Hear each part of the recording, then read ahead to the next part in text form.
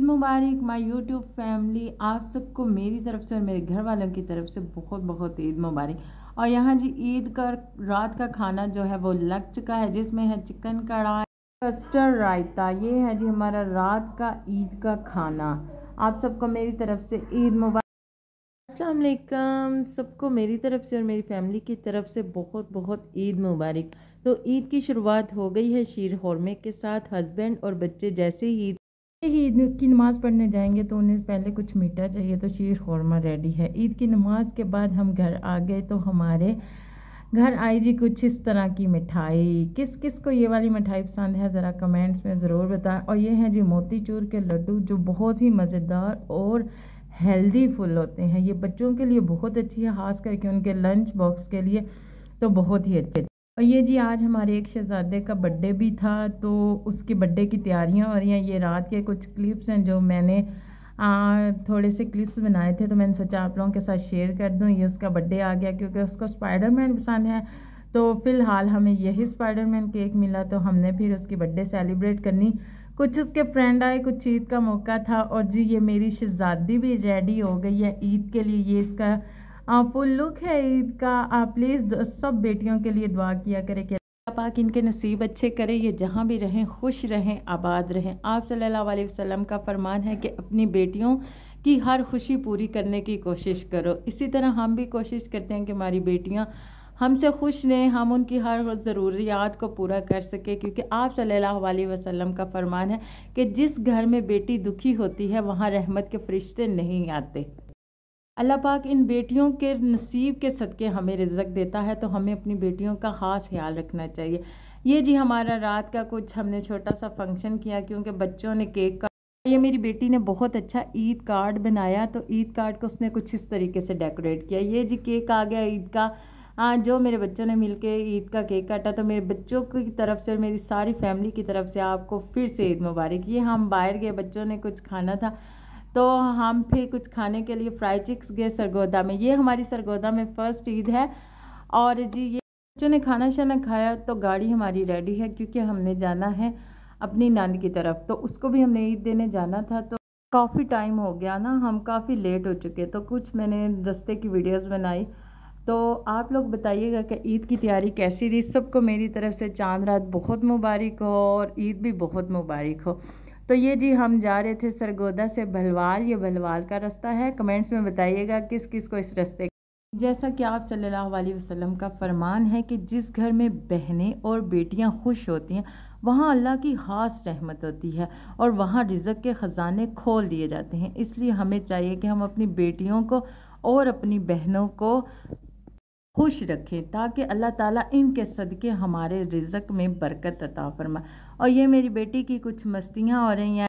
और बच्चों के साथ रात का सफ़र करना बहुत मुश्किल हो जाता है। ये हमारी सरगोदा में फ़र्स्ट ईद है तो बच्चे बहुत ज़्यादा एक्साइटेड थे कि सरगोदा की ईद कैसे होती है। तो हम जी जनाब निकले हुए थे भलवाल के लिए, काफ़ी टाइम हो चुका था। तकरीबन रात के नौ बज चुके थे। और जैसा कि रमज़ान गुजर गया है आज चाँद रात है चाँद का नज़र आ चुका है, ये ऐलान हो चुका है। तो हम अभी निकले ही थे कि बच्चों को प्यास, भूख लगनी स्टार्ट हो गई। तो ये यहाँ हमने बच्चों को जूस लेके दफ़ा रमज़ान का महीना इतनी जल्दी गुजर गया। अल्लाह पाक इस रमज़ान के सदक़े हम सब बेटियों के हाल पे रहम करें और हम पे अपनी रहमत के दरवाज़े खोल दे। आमीन। सब कमेंट्स में आमीन ज़रूर लिखें। और ये हम जी अपनी नंद के घर आ जा रहे थे। रास्ते में हमें कुछ मेमे नज़र आई और जहाँ बच्चे हों, वहाँ इस तरह की चीज़ अगर नज़र आ जाए तो फिर रुकना पड़ जाता है। बच्चों ने ज़िद की कि मम्मा, हमने इसे प्यार करना है, प्यार करके फिर हमने आगे जाना है। तो ये पता नहीं क्यों बेचारा सुस्त था था और ये ठीक ठाक खेल रहा था।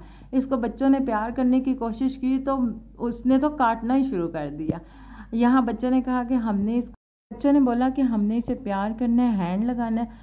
तो मैंने कहा, चलो वन बाय वन करके इसको हैंड लगा लेंगे। देखिए जी, मेरी बेटी इसको प्यार कर रही है, साथ साथ डर रही है, कह रही, मम्मा, ये ना, ये मुझे ना, मेरा हैंड ही खा जाए। मैंने कहा, नहीं खाता आपका हैंड आप आराम से प्यार करके इसको साइड पे हो जाए और यहाँ ये वाला जो बेचारा है, ये तो बिल्कुल ही चुप करके बैठा हो। यहाँ कुछ पिजन भी इन लोगों ने रखे हुए थे।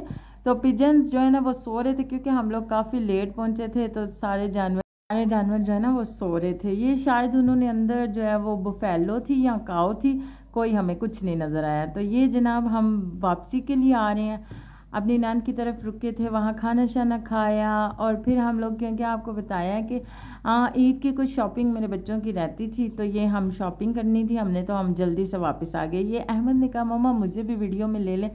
और ये जनाब यहाँ इसके पापा रुके थे क्योंकि अहमद को भूख लग चुकी थी तो हमने सोचा इसको क्यों ना कोई बिस्किट और जूस वगैरह ले दे, क्योंकि इसके फ़ौर बाद हमने इम्तियाज़ मॉल जाना था और वहाँ भी बच्चों ने ज़रूर कुछ ना कुछ खाना होता है। तो फिर इसको बोला कि आप बेटा सिर्फ़ जूस ले लो और इम्तियाज़ मॉल जाके कुछ अच्छा सा खा लेना। तकरीबन रात के ग्यारह बारह बज चुके थे और हम काफ़ी लेट हो चुके थे और जैसे जैसे हम इम्तियाज़ मॉल पहुँचे तो इतना रश था हर तरफ़ रौनक, चाँद रात की, ईद की। तो यहाँ जी मेरी बेटियों ने लेने थे अपने हैंड बैग्स जो हम ढूंढ ढूंढ के उन्हें कुछ पसंद नहीं आ रहा था।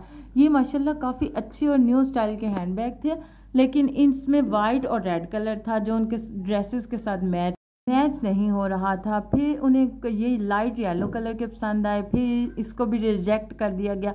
जब बेटियों ने शॉपिंग करनी हो ना तो कम से कम उसके लिए तीन से चार घंटे तो भूल जाए। कि इससे पहले बच्चियों की शॉपिंग हो जाएगी। यहाँ काफ़ी अच्छे से कैचर्स भी थे हैंड बैग इनके बाबा को बोला कि आप जाके कुछ खा पी लें, क्योंकि अभी तीन से चार घंटे तो आप भूल जाएँ कि उससे पहले आपकी बेटियों की शॉपिंग हो जाएगी। तो जैसे वो निकले तो हमें बहुत सी अपनी यूट्यूब फैमिली मिली। काफ़ी अच्छा लगा उनसे मिल के उनसे मिल के बात करके बहुत अच्छा लगा। और इतनी अच्छी सी एक फीलिंग होती है ना कि कोई आपको इतना सपोर्ट कर रहा है। और थैंक यू सो मच सबका कि मेरे यूट्यूब पे टेन के की फैमिली जो है ना, वो मुकम्मल हो गई। इसके लिए आप सब लोगों का और सबसे पहले अल्लाह ताला का बहुत शुक्रिया कि अल्लाह पाक ने ये इज़्ज़त, ये मकाम जो है ना, वो नसीब किया। ऐसे ही मैं अपनी उन सब यूट्यूब बहनों के लिए दुआ करती हूँ कि जो मुझे जहाँ जहाँ से जिस जिस शहर से भी देखें, या अल्लाह तो उनके नसीब अच्छे फरमा उनके रिज़क में बरकत फरमा, उनके हाल पे रहम फरमा। प्लीज़ हर कोई कमेंट्स में आमीन ज़रूर लिखें। और यहाँ मेरी बेटियों को कुछ पसंद नहीं आ रहा था। हम तकरीबन दो से ढाई घंटे बैग सेलेक्ट कर रहे थे कि कौन सा बैग लें। मेरी तो अल्लाह ताला से यही दुआ है कि या अल्लाह जैसे हमें ईद की खुशियाँ नसीब की हैं, इसी तरह तमाम गरीब बहन भाइयों को भी ईद की खुशियाँ नसीब फरमा, उनके बच्चों को भी शॉपिंग करने की तफ़ीक अता फरमा, उनके रिज़क में इजाफ़ा फरमा, या अल्लाह हर मुसलमान की औलाद को ईद की खुशियाँ नसीब फरमा। ये औलाद की खुशियाँ ही होती हैं जो माँ बाप के हर दुख, हर गम को भुला देती हैं। अल्लाह पाक हम सब की औलाद को फरमा, बरदार बनाए और इनके नसीब और इनके रिज़क को बुलंद अता फरमाए। कमेंट्स में हर कोई अपनी औलाद के लिए आमीन लिखे। या इन बेटियों के सदक़े जो तू हमें रिज़क दे रहा है, तेरा शुक्र है। इन बेटियों को अपने हिफ्स ईमान में रखने ज़िंदगी के हर मुकाम में कामयाब करना।